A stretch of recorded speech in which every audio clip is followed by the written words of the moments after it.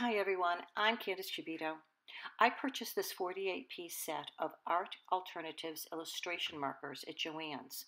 These alcohol markers were priced at $144, but I had a 50% off coupon, so they cost me only $72, which comes out to $1.50 a marker. Fabulous for alcohol markers. Here on the back are the colors with their names and numbers. I played around a little with these already. Uh, the swatches aren't exact representations of the markers, but you'll get an idea. I'm going to make a card and let you know what I think of the markers. I'm going to use this Lawn Fawn's Party Animals stamp set. It's an adorable set. I already have the deer and the fox and the bear already cut out. What I really like about this set is that there are all sorts of little stamps you can add as embellishments on the card to enhance the background or a scene. Another thing is that there are items that the animals can hold, like a present or a cake or a heart, and you don't have to mask the animals. You can just stamp right on their bellies. I'll show you. The hats fit on the animals without masking too. I won't use them this time, but I've made cards with the animals wearing their hats and I didn't have a problem. I'm only going to use the bear and the deer, but the fox is going to hang out for the duration of the video. I'm stamping the gift using Memento's Tuxedo Black. See how nicely the gift fits in the bear's hands or um, paws? I also have the cake. I'm going to let the deer hold the cake. I'm putting the other animals off to the side while I focus on the bear.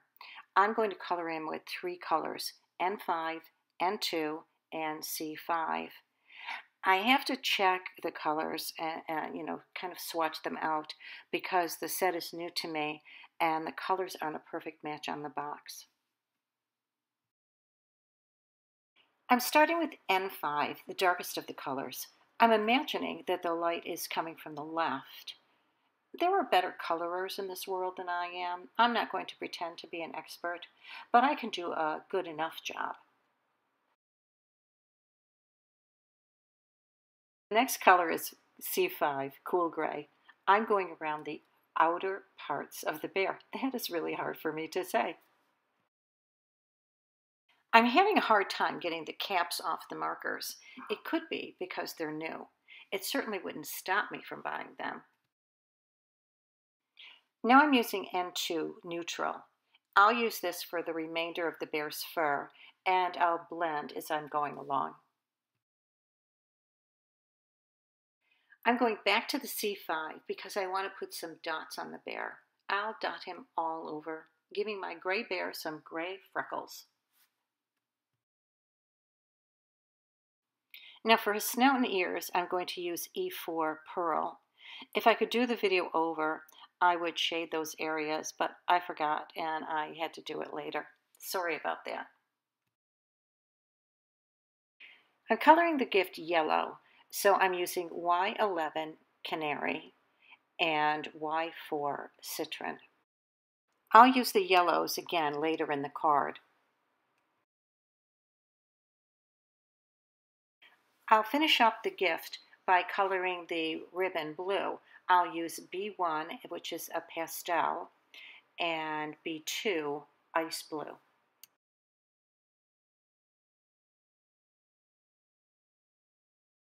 I think the gray markers did a pretty good job. I don't know if you can see it because the light has washed out some of the colors. Uh, but let me set him aside and I'll work on the deer. See if you can see that a little better. I'm beginning with the antlers using E6. I'm still having a hard time pulling the caps off, but it's a small price to pay if they keep the markers nice and dry. Then I'm going around his right side using the same marker. I wish I had a few other colors, but I can practice blending with them or even trying touching one marker to another to make yet another color. Actually, that's the reason I didn't color the fox. I wanted a dark auburn for the fur, and the set just doesn't have it. I didn't want to color him using the same colors as this deer, so I just left him out of the card altogether. I also made another shading error here. I should have colored under his neck and arms. So again, I had to go back and do that later on. Next, I'm using E17 for the rest of his fur. For his ears, belly, face, and hooves, I'm using sand. Now, um, I have two homes that I go between, and I go between them pretty often. So sometimes I make the videos at one location, but I do the voiceovers at another. And this is one of these times. So although I use sand, I can tell you that. I don't know the number for that one, so I'm, I'm sorry about that. When I played with these colors before I made the video, I wasn't happy with the blending. The overall effect was a blotchy look, but I'm happy with the way the markers are blending now. Maybe they just needed to be used a bit first. I'm shading in with E15. That's a pale pink.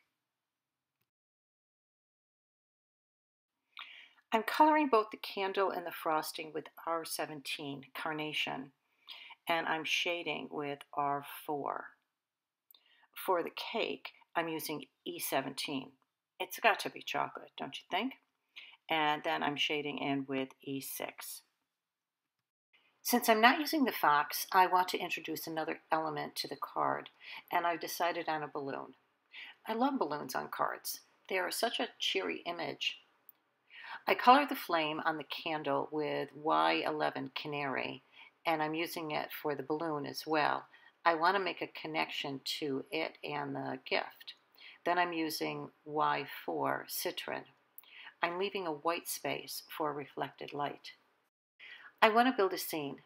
I cut out some green cardstock with a grassy border, and I'm not sure what company that came from.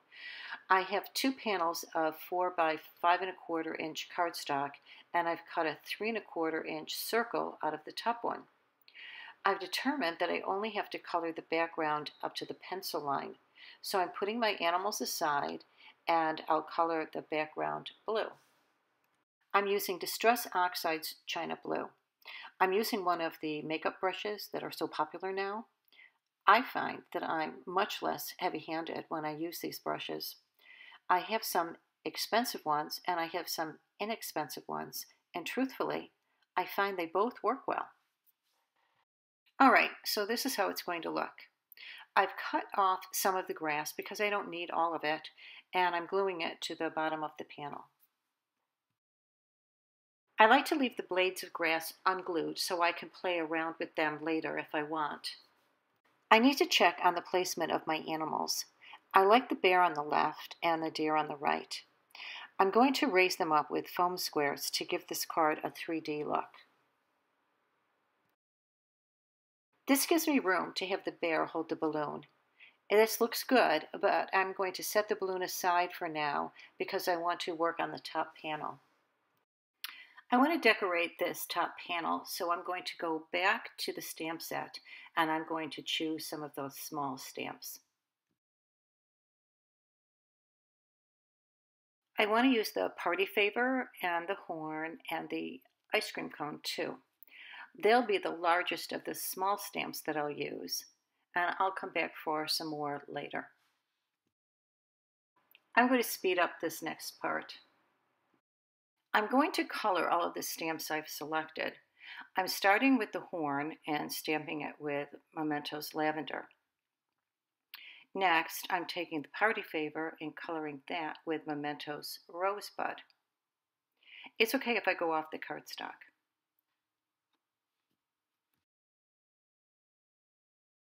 I went brown for the ice cream cone, so I'm using Mementos Rich Cocoa. Then for the rest of the panel, I'll fill in with little stamps.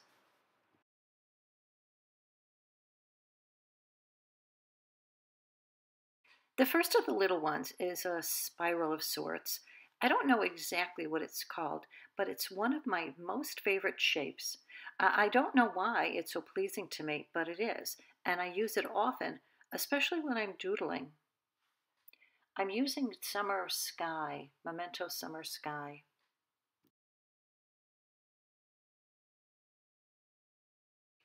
I don't know what this next shape is called either, so I'm calling it confetti. I'm using Memento's Cantaloupe for this one. I have a couple more stamps I want to use, but this is filling in nicely. I'm going back to Memento's Rosebud for this little star. And I have one more stamp I want to use, and it's this one, a triangle. For this, I'm stamping with Memento's Pear Tart dye ink. Now I'm going to color in the largest of these stamps.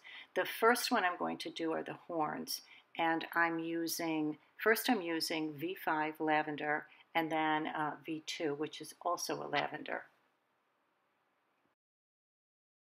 For the mouthpiece of these horns, I'm using Y11 Canary. I'm using E17 for the cones. It's called Pralines, and I think it works well. For the ice cream itself, I'm using E14. I think it makes it look like a vanilla cone, but maybe you think it looks like coffee or butter pecan. I'm shading with E15, and it was just what it needed. The last thing I'm doing on this panel is coloring in the party favor.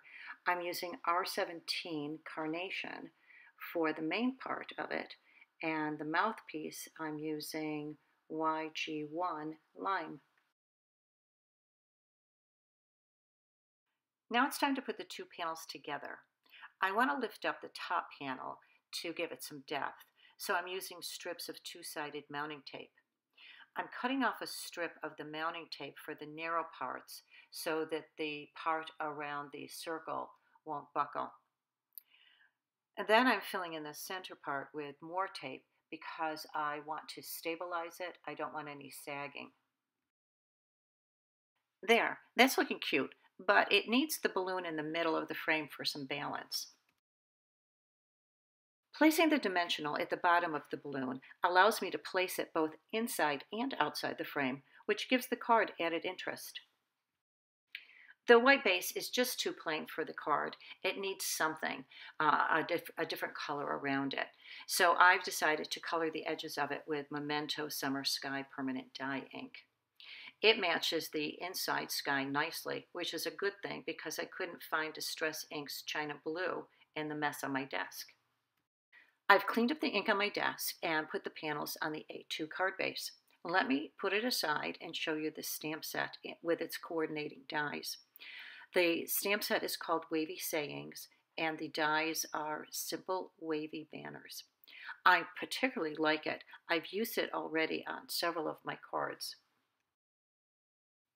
The stamp set includes happy birthday, congratulations, thinking of you, love you lots, feel better, waving hello, you're the best, thanks so much, and flying by to say. I've selected the happy birthday stamp and I want to show you how I do the stamping. I've cut out a banner on a rectangle of cardstock and put that rectangle inside my MISTI. I've also cut out a bunch of banners because it's an efficient use of my time as long as I have the die out. Now I can put a banner in the negative space and arrange my stamp to fit properly over it. I stamp my banner and it's perfect, but if it wasn't, I can restamp it in the exact spot. I'll take this one out and use it on my card, but you can see that I can take another banner, place it in the negative space, and stamp again, or 20 times more, and get the same results. I often make multiples with my dies to save me time later on. Here, I'll do another one to show you just how easily it is to align these perfectly. I then put those stamped banners in with my stamp set so I can pull them out when needed. Here are some more happy birthday banners and um, a feel better one already done and ready to go for another day. Here's the banner I just made, and I think I'll put it at the top. I'm putting a dimensional on the right side and glue on the left because, like the balloon, I want it on the top panel and into the picture itself. This is just an adorable card. I know someone young is going to love it. But I want to get back to the subject of these alcohol markers. Maybe you can send me a message to tell me what you think. I think that they're a good alternative to Copic markers, especially when you have to be mindful of expenses. And also, um, if you are just a beginner card maker and you don't want a big expense just yet. Thank you for watching. I look forward to hearing from you. Bye for now.